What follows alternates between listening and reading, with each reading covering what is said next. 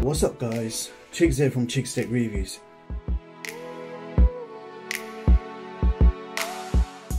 So today I got my hands on the brand new AI Power Wearbuds Pro. So this is the sequel, the second generation to last year's Wearbuds. A very interesting concept of smartwatch and earbuds in one. And this new model has some great new features which I can't wait to share with you guys.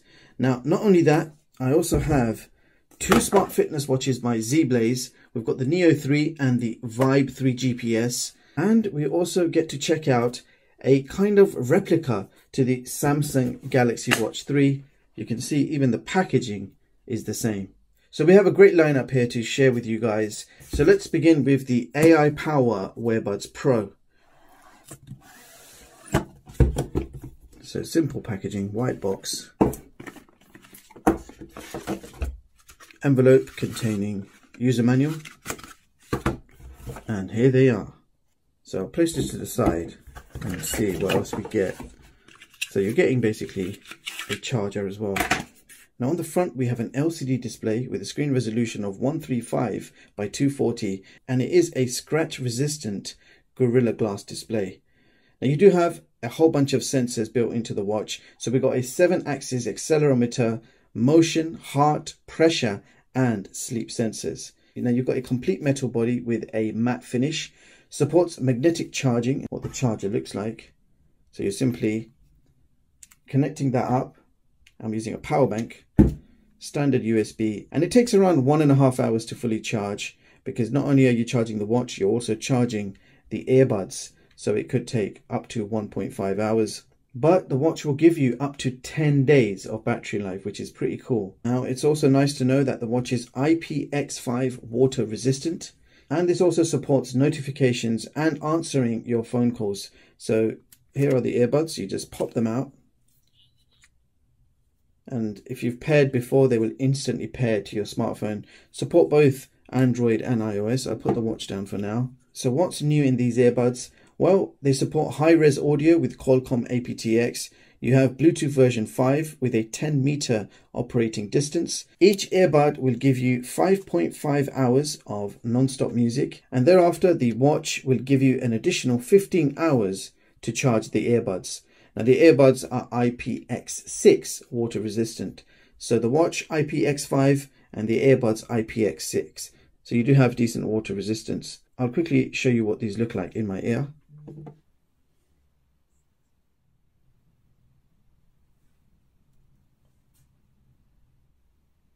So sound quality is actually really good. High-res audio, aptX, beautiful sound. They've made a huge upgrade to the sound. It sounds amazing. It fits in the ear perfectly. You've got touch control so you can control the music. So tap to pause, double tap to skip.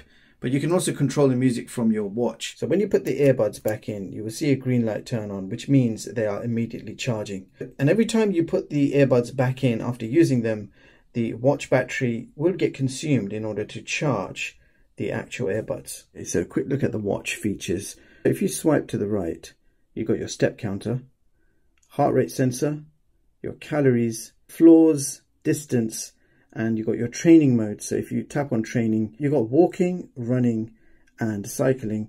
So let's go back. Swipe again, you've got your music control, you've got a timer, and you've got your settings.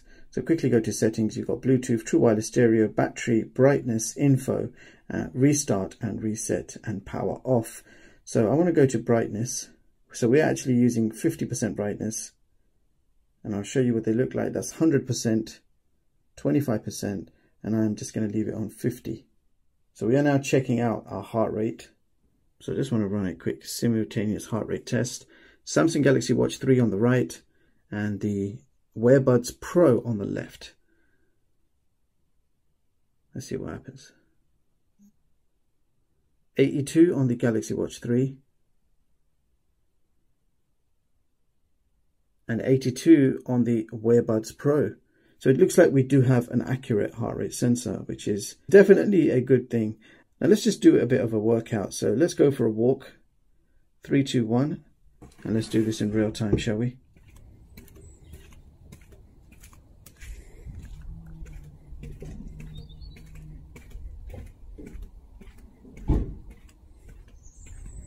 So I just went for a walk, altogether 381 steps. And I'll show you my calories, 19 calories burnt, one floor, 0.23 kilometer distance. So the fitness feature seems to work pretty well.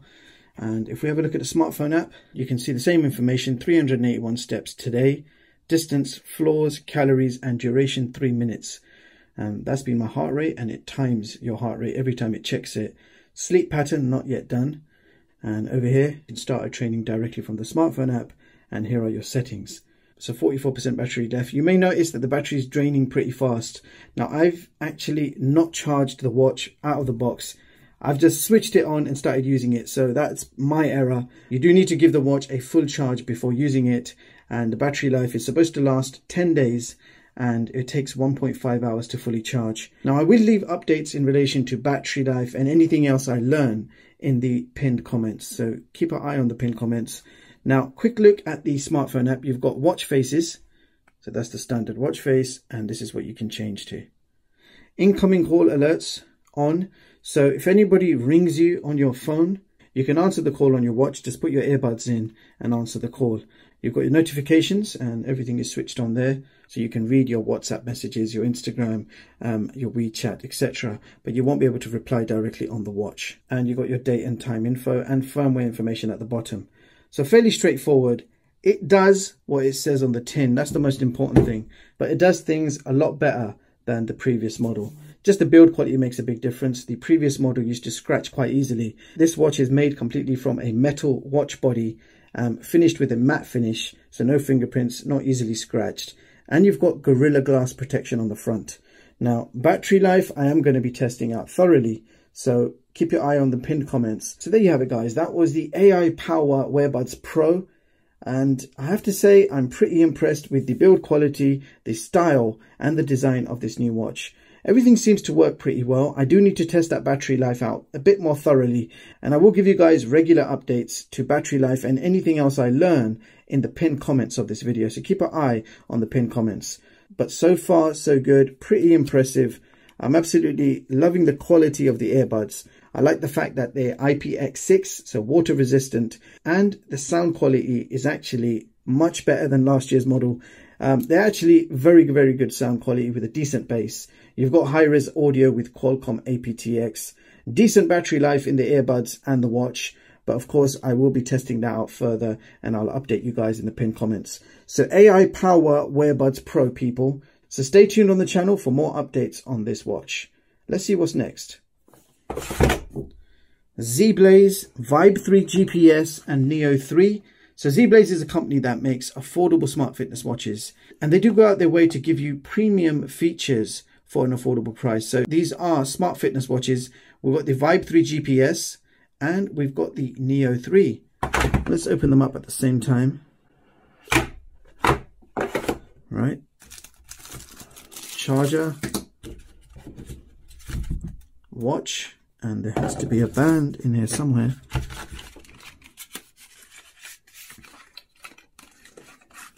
Now, I'm a fan of watches that have removable bands.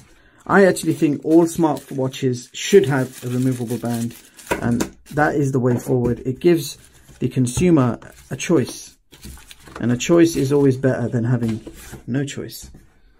So Neo 3, removable bands. So these are 22 millimeter hybrid bands. So what that means is you've got leather on the outside and silicon on the inside, like a T and a soft TPU silicon on the inside. Um, it's a great combination. I absolutely love hybrid straps.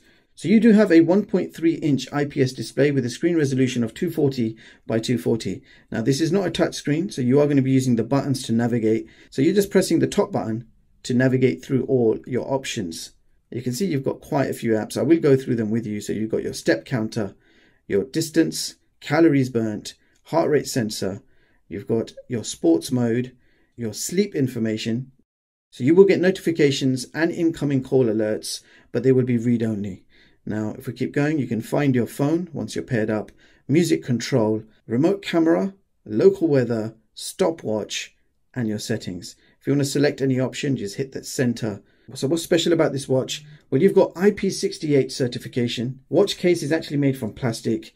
Now the watch itself is very light. We're talking about 44 grams with a thickness of only 14.3 millimeters. So that is basically it, a non-touchscreen smartwatch. So this is how it looks on my wrist. I want to see if screen on hand raise works. So screen on hand raise does actually work. It looks quite nice. You've got these very nice smooth bezels, 1.3 inch display.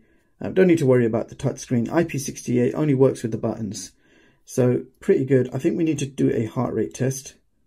And we'll do a simultaneous one. I've got the Galaxy Watch on the other wrist. Let's measure both watches at the same time. Heart rate test. Let's see what we get. 86 and 58. So, so totally different score. I will actually do it again just to give it the benefit of doubt. Here we go. Testing the heart rate and we measure it again on the Galaxy 3 as well. So second time round, 96 and I put it on a bit tighter this time. And the Galaxy Watch 3, 89. So it looks like the Neo 3 doesn't actually have an accurate heart rate sensor. That is what we've learnt in the few minutes that we've used this watch. So that was the Zeblaze Neo 3. So next up we have the Vibe 3 GPS. Now the beauty of this watch is you actually have a GPS built in, whereas the Neo 3 doesn't have a GPS, it will use your smartphone's GPS. So again, we have a 1.3 inch IPS display with a screen resolution of 240 by 240. Now the watch case is made from carbon metal finished in black. You've got a 24 hour heart rate monitor with sleep tracking and of course built-in GPS GLONASS.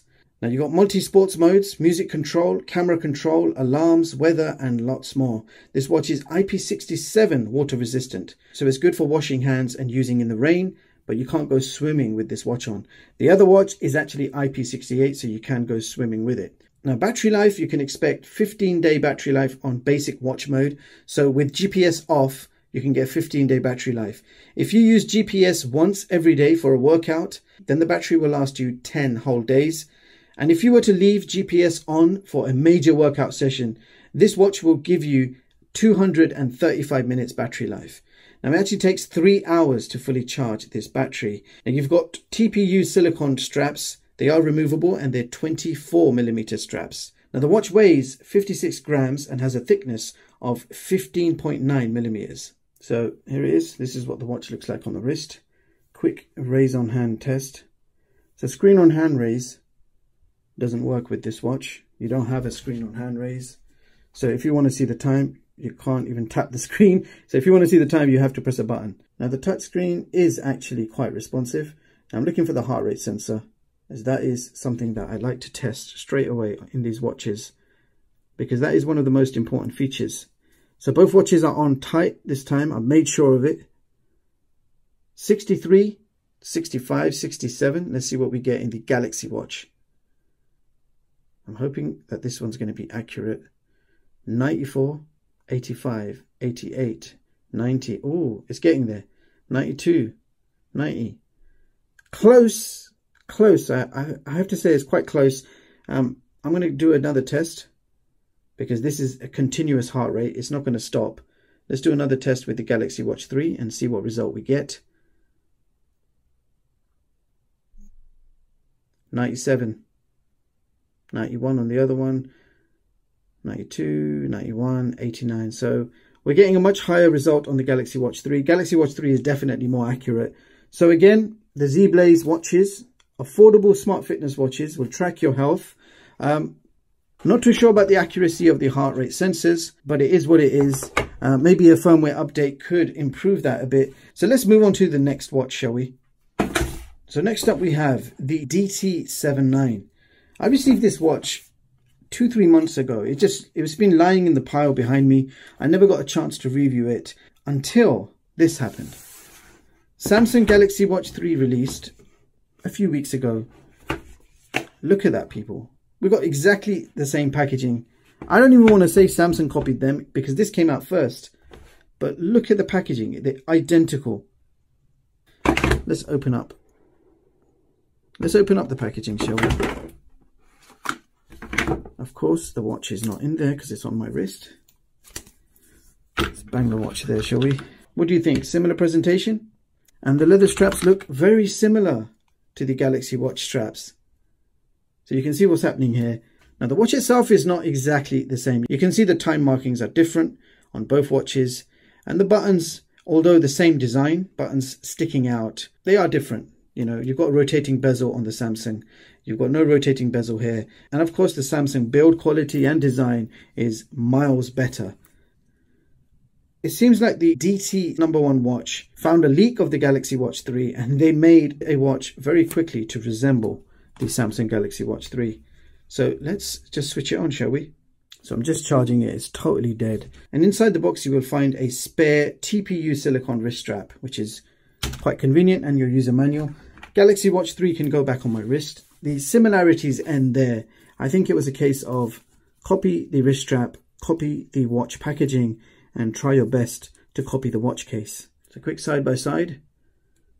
So 1.3 inch IPS display with a screen resolution of 360 by 360. So a pretty good screen resolution compared to all the other watches we've seen so far. Watch case is made completely from metal and it's finished in black. It actually feels like a premium watch. It doesn't feel cheap at all.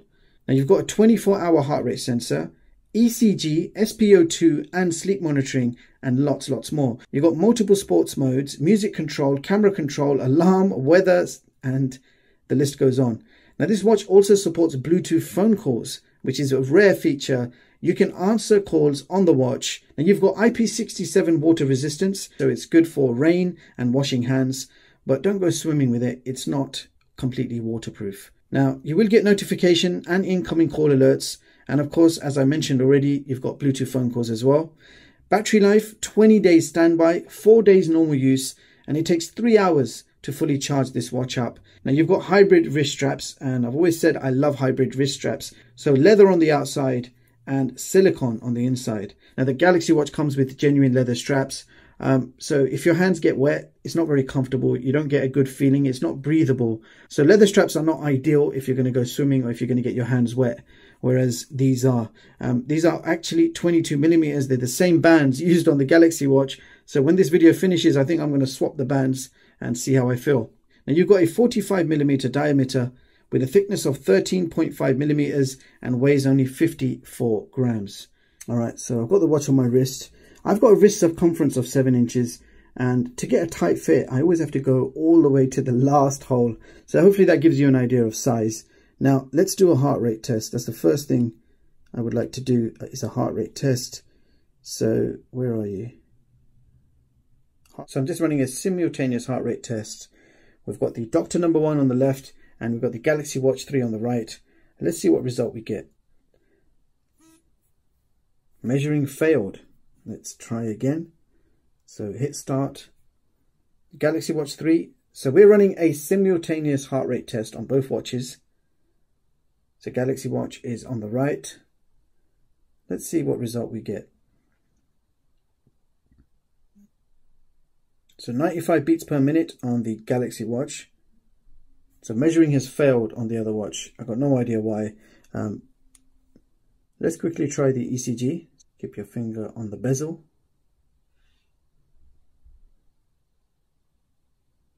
So it doesn't look like things are actually working on this watch. So this is the smartphone app. I'll tell you what it's called. It's called Fundo. And you've got your step counter, calories, and distance. Looking for something that says heart rate, but I'm not seeing it. ECG detection.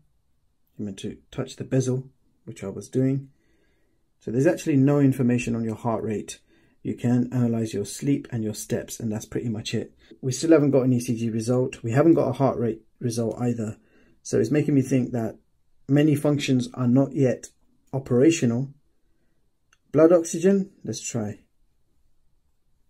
We know that the Galaxy Watch has a blood oxygen as well. So let's measure both at the same time.